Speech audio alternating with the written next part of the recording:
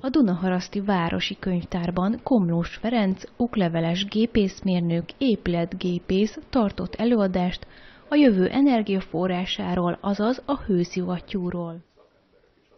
Hát örömmel vettem a felkérést a könyvtárigazgató hölgytől Mariontól egy ismeretterjesztő eladás lesz, az a címe, hogy mivel fogunk fűteni, hűteni és használati melegvizet készíteni. Nagyon sok minden véle, sok véleményünk van ezzel kapcsolatban, sok érdekes véleményünk, de kapunk egy lehetőséget, egy, egy irányt, és hát kíváncsian várjuk. Tettettel köszöntöm mérnök urat a Rasztikesztárban.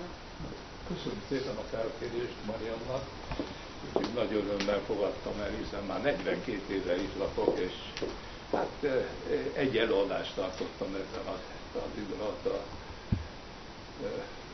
a gazdatörnek a feltérésére, de akkor nem ilyen korszerű technikával, akkor ilyen fólia kivetítéssel és a kultúrházban.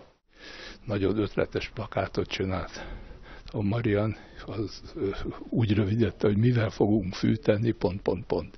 A lényeg az, hogy hogy ezt a fűtésre fejlesztették ki a legújabb változatot. Hőszivattyúnak hívják ezt a berendezést, és Hát ez sok országban már lehagyta a kazánt piaci alapon, mert ez nem csak fűteni tud, hanem hűteni is, és a hűtésre is egyre nagyobb igény van. És hát ez a hőszivattyú úgy tud, ami most már magyar 2012-ben magyar termék nagy is kapott, hogy nagyon hatékonyan tud fűteni és hűteni is, mert a, körfolyamat megfordítható. Egyszer óra járásával egy irányba, de hogyha fordított funkcióra van szükség, akkor meg tudja fordítani. És még a hő a magából a körfolyamatból tud használati melegvizet is készíteni, és hogyha ez egy családi ház nagyságrendű, akkor gyakorlatilag a hűteni, hűteni és használati melegvizet is tud készíteni amikor működik. Amikor nem működik, amikor átmeneti időszak van, akkor vagy villamos energiával kell pótolni a energiát közvetlenül, hát vagy napkollektort feltenni, és akkor abban az időszakban a napkollektor vissza. Ez gazdaságosági kérdés, hogy, hogy arra az rövid időre, amikor az épülettől függően változik, hogy mennyire kell fűteni, süteni. Na most, ha fűt, akkor ugyanolyan hatékonysággal elő tudja, elő tudja állítani a használati melegvizet, mint a fűtéskor, és ez az gyakorlatilag azt jelenti, hogy egy, egy egységből négy és öt közötti egységet tud csinálni. Ez egy hagyományos épületen, ami nem fokozott hőszigetelősű. Ez a berendezés, ez nagyon jó hatékonyságú, és hát a, barátom, aki szerzőtársam is,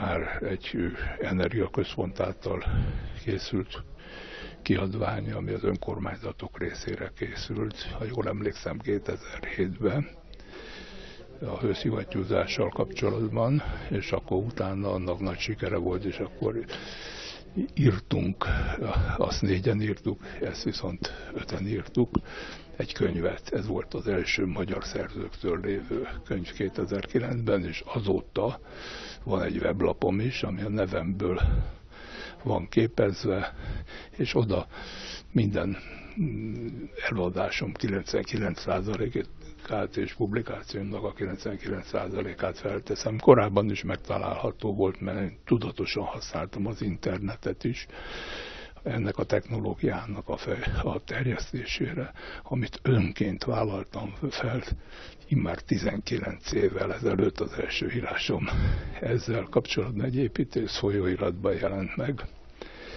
és ahhoz tartom magamat. Ezt a technológiát én úgy láttam az akkori szakmai tapasztalatom alapján, és amikor már nem voltam fiatal, mert már most, most már 73 éves vagyok, de hogy ez az, ennek, a, ennek az országnak egy kibontakozási lehetősége lehetne.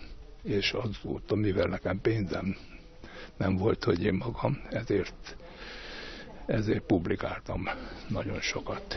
Úgyhogy, és hát jelenleg is most a konstrumáról megjelenik két írásom növényházakkal kapcsolatban, az egyik konkrétan ott már most kijöttek a támogatások, és erre a őszivattyúra még 40% illetve 50 ot is fel lehet venni, hát nem csak a őszivattyúra, hanem a növényházakra is, meg egyéb geotermális berendezésekre is, de külön meg van nevesítve őszivattyú de ez a berendezés olyan már, hogyha ha jól van megcsinálva, és sajnos az elterjedését inkább az gátolja, hogy nagyon sok berendezés rossz.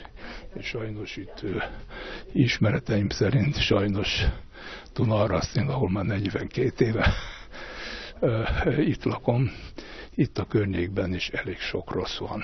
És ez a rossz dolog az meg sokkal jobban terjed, mint a jó, és sokan ezért félnek a őszivattyúról. Meg kell mondanom, hogy, hogy ennek van oka, hogy tényleg sok rossz berendezés van, közel nem hozza ezt a négy-ötszörös hatékonyságot, amit hozni kéne.